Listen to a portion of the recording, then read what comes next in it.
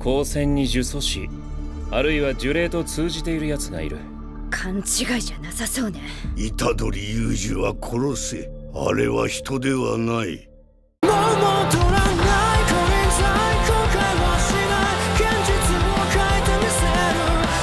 あんたら虎杖殺すつもりですか？その通りだと言ったら。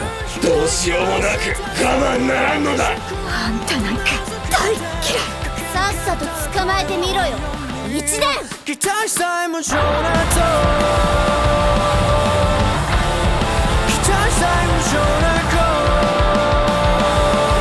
全力で導き。サンキューソーマッチ。ベストフレンド